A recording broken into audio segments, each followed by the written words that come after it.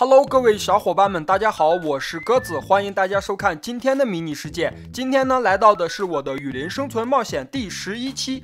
今天啊，我是找到了一个天然的矿洞，这里呢居然有这么多黄金，赶紧给它收集起来。但是这旁边有岩浆啊，看样子好危险呀。看到这里的小伙伴呢，不知道你是不是一个喜欢玩迷你世界的小伙伴呢？如果说你是一个喜欢玩迷你世界的小伙伴，不小心被哥哥猜中了，那你就给哥哥点个关注吧，因为哥哥最喜欢和小伙伴们一起玩游戏了。这个矿洞啊有很多水，但是呢它前方也有很多岩浆。为了保证呢我们的安全呀，所以说呢我打算做一个小木桶，在这个矿洞中呢我可以取到水，然后遇到岩浆呢我就浇下去。这样的话我就安全啦，金铁锭做好了以后呢，我现在就把我的小木桶做出来，这样子的话我就安全了。我现在先去装点水试试。这个野人好讨厌啊！在地下室啊，这个野人呢也是非常多的。我们先去装点水。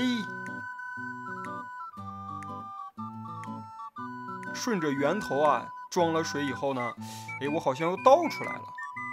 哎，好的，现在呢是把水装到了我的木桶里，我现在就找这块岩浆试一下。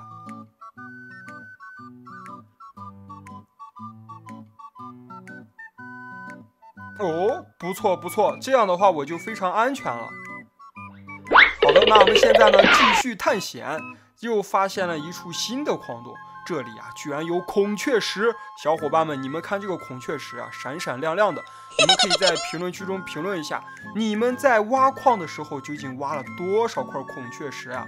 让我们看看谁挖的最多。我现在呢是挖到了第一块孔雀石，底部呢都是电石块。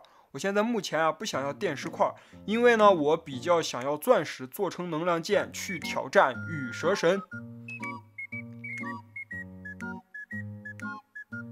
好，我们经过一番游泳啊，这里的水实在太多了。